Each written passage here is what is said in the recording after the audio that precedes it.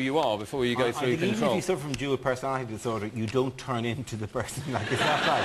But by now I'm me, but sometimes I have a small handlebar moustache and speak like a 1920s silent movie villain.